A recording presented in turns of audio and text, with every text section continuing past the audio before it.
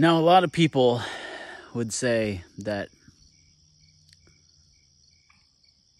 what you consume through your mouth and into your body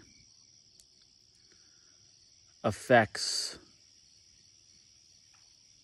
your ability or your relationship with source with with the divine with god and i would have to agree but i think that what affects that relationship and ability to hear and receive what we speak out of our mouths into the world, into reality. Especially to each other.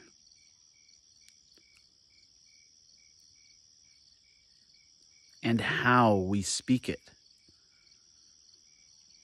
will affect this communion if you will, or connection with Source, with the divine, more so than what we consume into our bodies. That what we speak out of our mouths may very well have a greater impact and effect on our ability to listen, to hear, to receive. And our overall well being.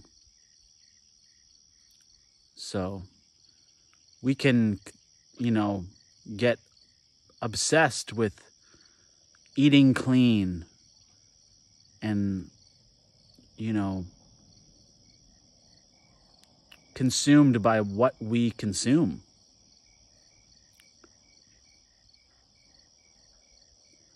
But I just want to encourage people to think more about what they're speaking out into the world.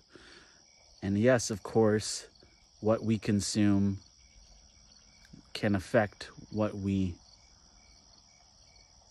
speak from our mouths.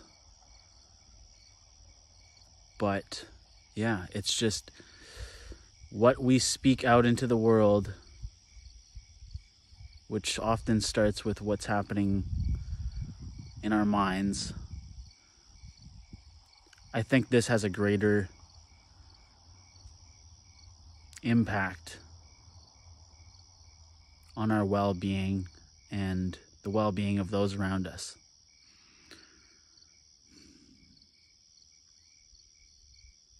Just a bit of food for thought.